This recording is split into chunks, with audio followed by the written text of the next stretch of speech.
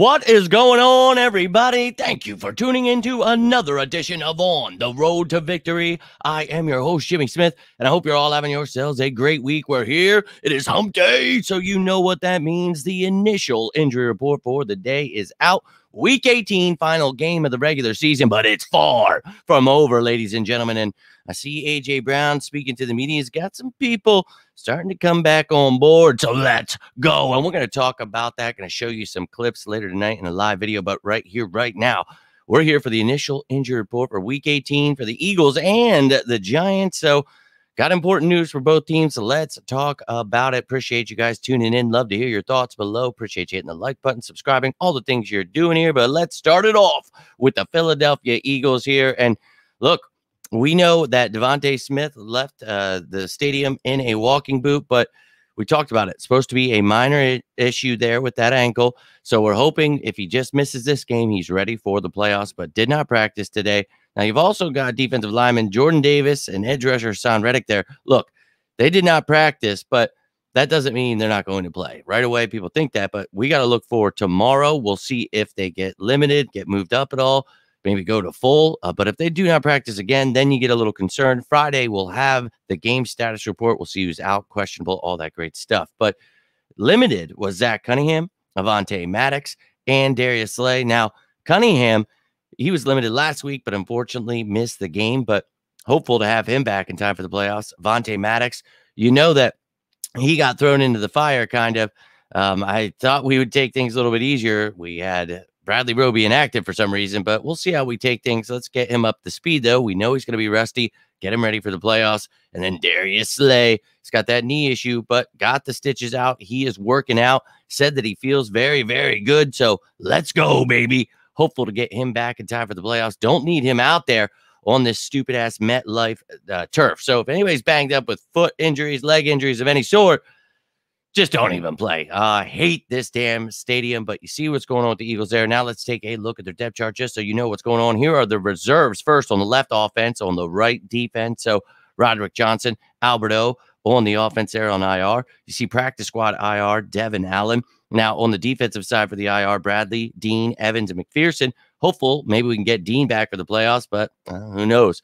Isaiah Rodgers next year. Very excited about that anybody in green new to the team this season. So let's take a look now at this depth chart. Not going to see any of those names because, of course, they are on reserves list. Now, anyone in green here new to the team this season, keep that in mind. So that is why they're green. But here is the offense. And look, DeVonta may miss this game. So more from Julio, more from Covey.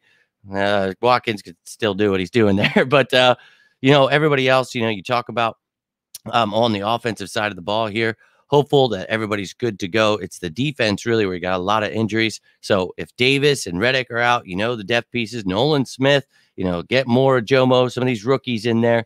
Um, and then looking at linebacker, obviously Shaq and Van Sumer in there behind Cunningham. And in the secondary, Ringo getting more time. So hope to see him. Everybody stay healthy through this game. We'll see what the injury report looks like tomorrow. But the special teams, everybody is good to go there.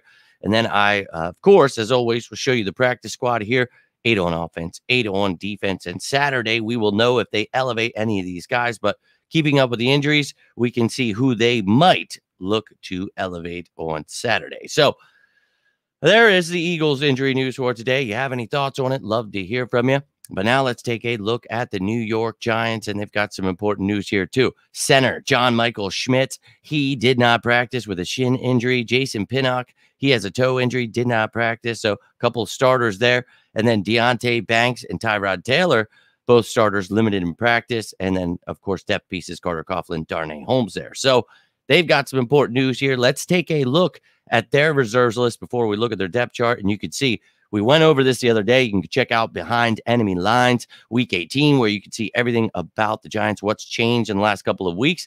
But you can see uh, the offense on the left, a lot of guys on IR, one guy on IR from defense, one guy on the pup list from defense.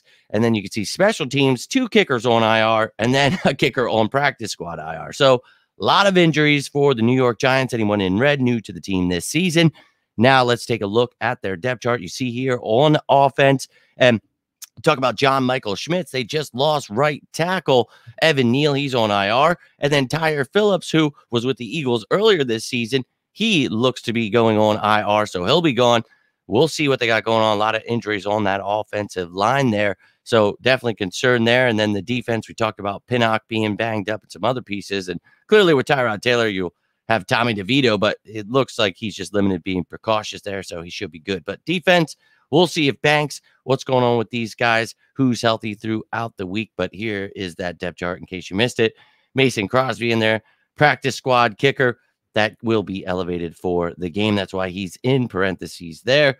And then you see their practice squad, as I mentioned, Mason Crosby there at the bottom, special teams. But you've got yourself six guys on defense, nine on offense. So there's the 16 man practice squad for the New York Giants. But that is all the injury news you need to know for today. I'll be back tomorrow with the top matchups, and that will include the updated injury report. So make sure to check that out. If you miss behind enemy lines, I will post it down below in the comments. Love to hear your thoughts on that one. Love to hear your thoughts on this one. Again, I appreciate you guys hitting the like button, always commenting, tuning in. I cannot thank you enough. And I'll be back live later tonight. Talk about AJ Brown, show some of those clips from his time with the media today. Ooh, it was good. So hope you're ready. Hope you're getting bumped up, finding a little hope deep down below, hoping I can help you find it. But uh, until then, I am Jimmy Smith, and this is On the Road to Victory. You all have yourselves a great day. Stay safe out there. And as always, go birds!